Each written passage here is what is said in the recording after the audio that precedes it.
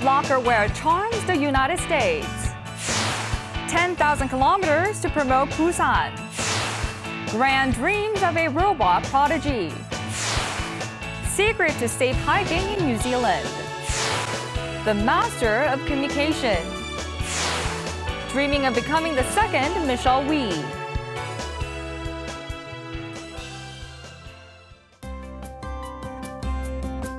Hello, welcome to Going Global. I'm your host, Chong Se-mi. 100-year-old Man Kaur from India recently made waves after winning the 100-meter dash at the American Masters Games. She was deemed the winner as she was the only person in her age category. She also picked up gold medals at shot put and javelin. Apparently, she begins her day at 6 a.m. with a shower and some simple stretching. She's definitely a testament to the statement, age is but a number. Going Global brings you heartwarming stories, and here is the first one of the day. In the past, lacquerware furniture was a common sight in Korean households. That's not the case these days, but a lacquerware exhibition opened in the United States for the very first time.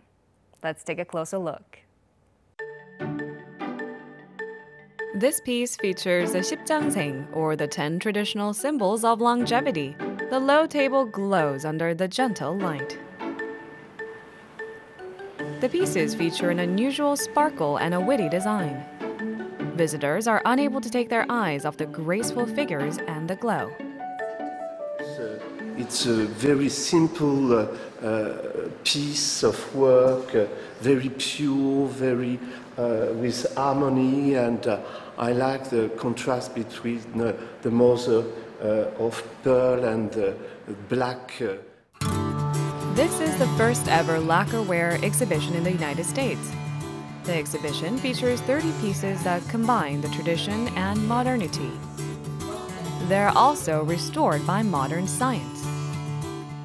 The exhibition has attracted more than 60,000 visitors since opening in April of this year.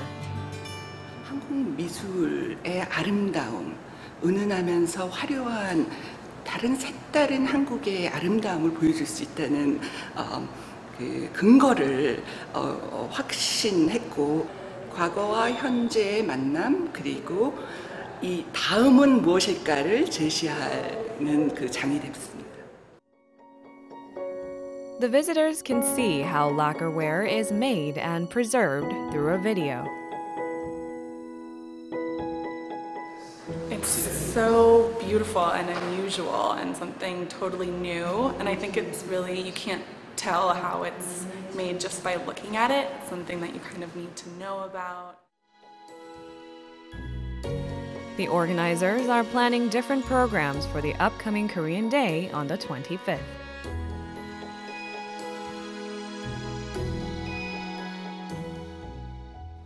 Moving on to our next story. A long journey across Russia to promote Busan as an international gateway city has come to a successful end. A major festival took place in St. Petersburg to commemorate the end of the journey. Let's find out more. Bustling with thousands of people, the park is holding various events related to Korea. This is the Busan Day Festival celebrating the successful end of the Eurasian expedition's journey. Residents of St. Petersburg joined in by wearing hanbok, or Korean traditional costumes, and trying Korean cuisine.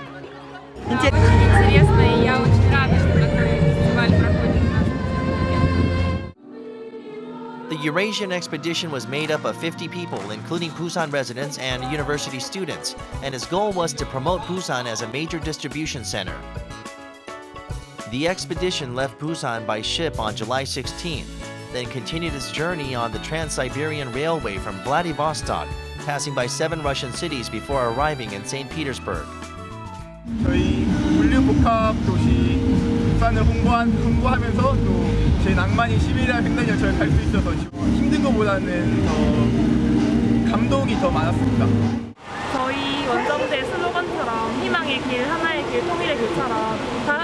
갈 때는 부산에서부터 기차 타고 또 왔으면 좋겠어요.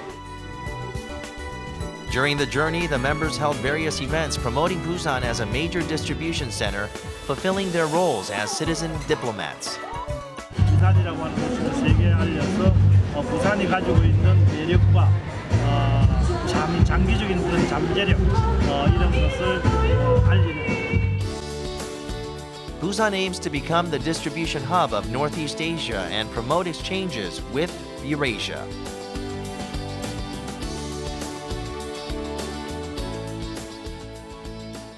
Our next story takes us to the United States. There is a Korean boy whose passion for robots knows no bounds. His team even ranked second place at a recent global robot competition. Let's find out more. This young boy puts together various parts with simple tools.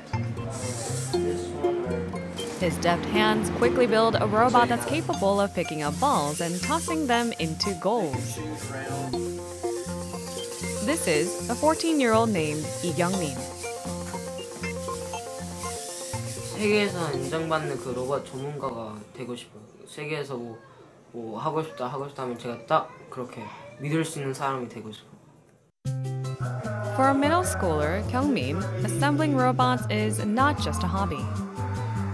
His team ranked second place at an international robotics competition held in April this year that brought in 176 teams from all over the world. Having moved to the United States six years ago, Kyung-min has already expressed a talent for assembling robots. 아픈데도 그걸 하고 있더라고요. 몸이 아픈데도. 경민아 힘들지 않아? 뭐 지겹지도 않니? 그랬더니 엄마 이거 할 때는 자기가 아픈 것도 모르고 너무 행복하다고 그러더라고요. He may be young, but he is tirelessly working toward a future he envisions for himself. Him and my students will be able to go into the university level and have a focus on maybe an engineering career. Kyungmin dreams of making robots for space exploration with his own hands. And his fearless pursuit of his goals will help him live out his dream.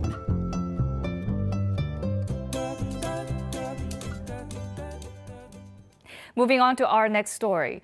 Many people head out of a town and go hiking as a means of escape from the hustle and bustle of everyday life. Hiking may sound like a relatively easy activity, but it could lead to a critical accidents. And that's why in New Zealand, there is safety education offered to hikers. Let's take a closer look. This is the Waitakere Ranges Regional Park, featuring cool streams and lush forests.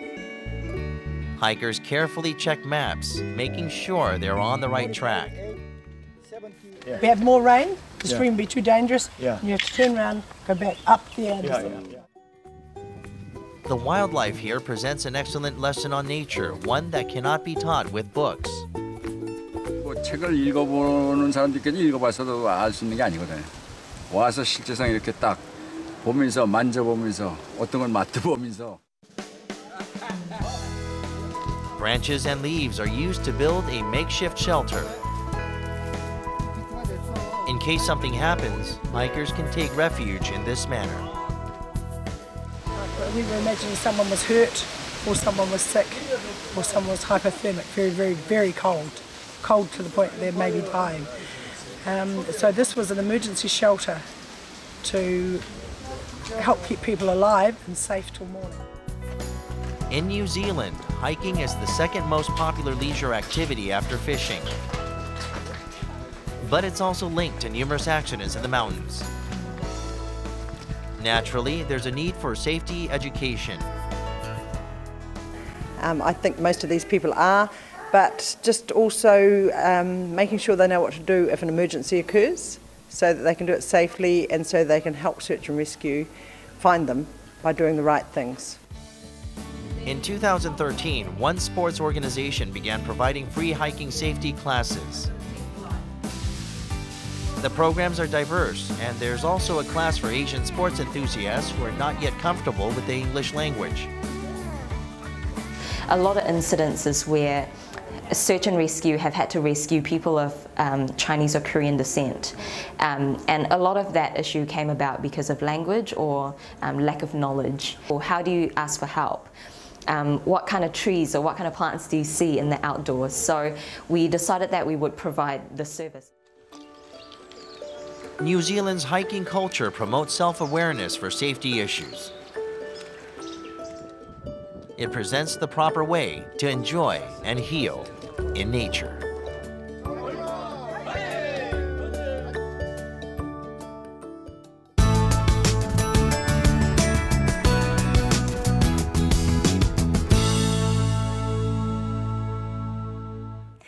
Our next story takes us to Canada. Now, Canada is home to people of many different ethnicities, and subsequently, there are times when communication becomes a problem. One Korean there dreams of a society where people can communicate through sign language. Let's take a listen to her story. People try making signs with their hands as shown in this picture. This is a class for learning sign language. I'm trying to change uh, people's paradigm, change people's perspective of what the deaf community is all about.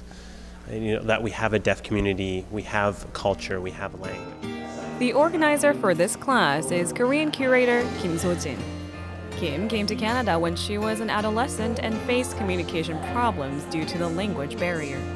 She also found out that more people than she thought couldn't communicate properly in the highly multicultural city of Vancouver.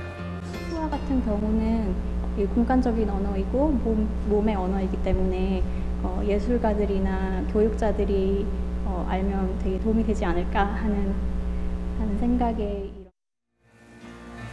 Kim approached sign language not only as a means of communication, but also as art. It took her one year to learn sign language and translate it into pictures. This is a country of free speech, and I think people should be more aware of more method of all communication. So. Kim plans to research other ways of conducting dialogue so that everyone can communicate freely.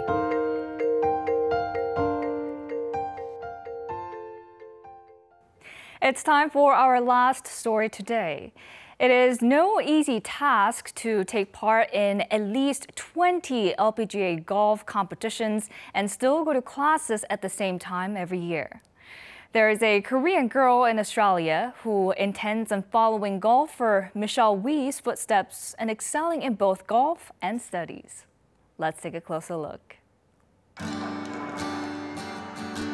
Here's a sunny golf course tall and slim father and daughter head off with golfing equipment.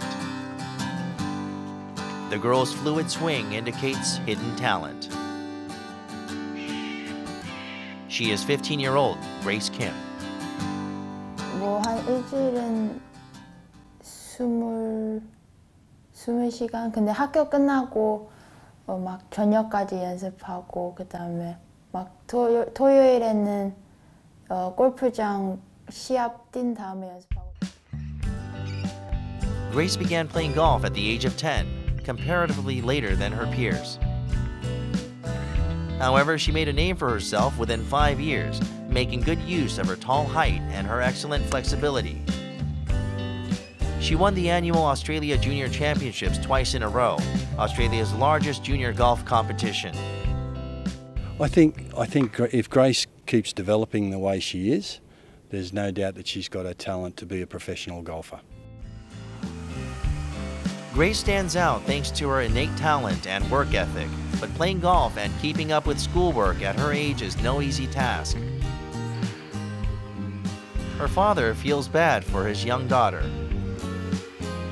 그렇죠. 일단 조금 경기가 안 풀려서 조금 애가 어, 스트레스 받거나 좀 풀이 죽어 있을 때는 좀 보기 좀 안쓰럽고 하기 싫으면 하지 마라. 이제 제가 종종 얘기는 하는데 그래도 이제 본인이 그래도 힘들어도 하겠다고 하니까 이제는 However, young Grace wants to be like pro golfer Michelle Wie and excel in both studies and golf.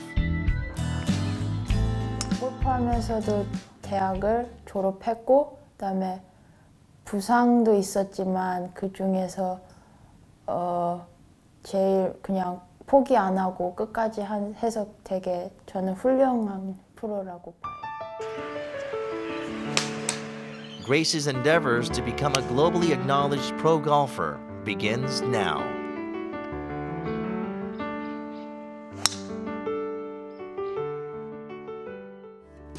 I hope you enjoyed today's stories on Going Global. An interesting story about a letter has come from Iceland. Rebecca Catherine Kadu Ostenfeld, a farmer in Bordalore, Iceland, received a very unique letter. Instead of an address, there was a map drawn on the envelope indicating where the recipient lived. The letter was posted from the capital city of Reykjavik, and marvelously enough, the Icelandic Postal Service delivered the letter accurately to Ostenfeld. It turns out that Ostenfeld had hosted a group of tourists at her farm, and one of them wanted to contact her but didn't know the address or even the name. Luckily, the sender's message got through and the story had a happy ending. Now, this may be an example of how heartfelt truth can reach out regardless of the hurdles in its way. Now, Going Global will be back next week with more exciting and interesting stories from all around the world. Thank you for watching.